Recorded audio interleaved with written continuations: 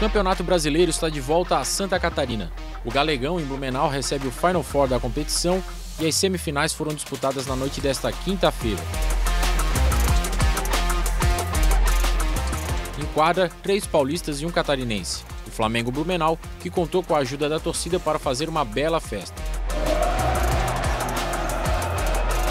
Torcida catarinense, aliás, que já está habituada ao brasileiro pois 54 dos 96 jogos desta edição da competição foram disputadas aqui em Santa Catarina.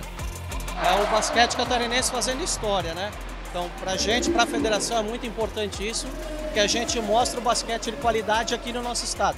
Mostre o que a gente está fazendo, que o basquete catarinense é capaz e também a gente atrai mais público, né? Aquele pessoal que quer ver um basquete de qualidade, quer ver uma competição grande, uma competição boa e muito emocionante, está aí. Pode vir para a quadra, pode vir para o ginásio, que aqui em Santa Catarina a gente tem basquete e de qualidade.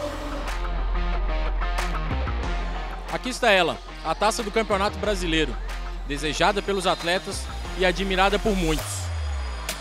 Essa é a terceira vez que uma dessas está sendo disputada aqui em Santa Catarina. Definitivamente, aqui o basquete está em casa. Maio de 2021, a Arena Brusque recebeu a decisão do Campeonato Brasileiro. Em agosto do mesmo ano, aqui no Galegão, foi disputado o terceiro e decisivo jogo da Liga de Basquete Feminino, a LBF, mas ambas as finais foram sem público por conta dos protocolos de prevenção contra a Covid. E agora foi novamente aqui no Galegão, em maio de 2022, mas dessa vez com a presença da torcida. E em quadra, teve muita luta até o fim.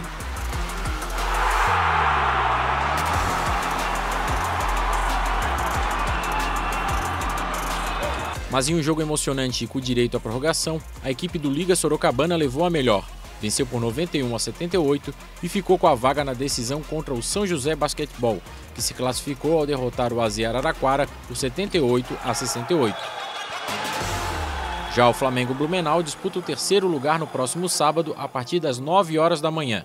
E a decisão será às 11h15 da manhã, aqui mesmo no Galegão. Se nos últimos anos o torcedor do basquete catarinense se habituou a ver equipes de Blumenau levantando títulos estaduais, em nacionais o sabor nem sempre é doce. Porém, disputar títulos é um costume que nunca cansa e equipes de Blumenau com certeza estarão de volta.